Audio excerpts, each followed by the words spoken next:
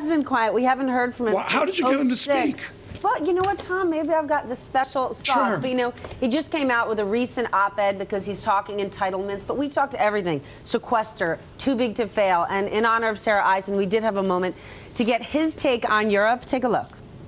Well, I think solvency is being addressed in certain countries, Spain, some other countries like that.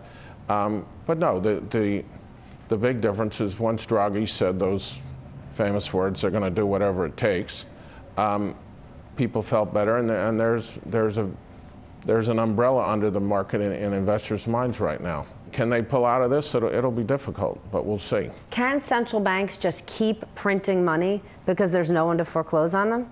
Not forever, but maybe for a lot longer than we think. And if they do, then what's going to be the downside? The longer you keep the thing going, the worse it is.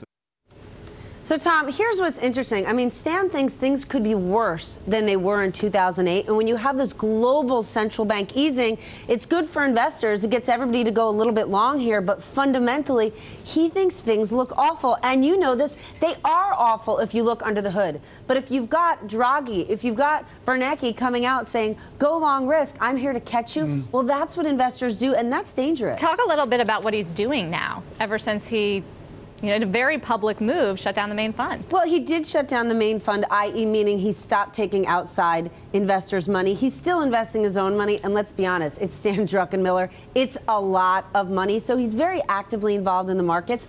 But it's almost like it's a tale of two Stans in that fundamentally he thinks we're up for a very difficult road ahead. But guess what? He's also somewhat long the market because you I was going to to say, is he long or short? He is long the market because if you're trading the markets, if you're listening to any of these central bankers, you have to be. Okay, very Why good. is he Stephanie now?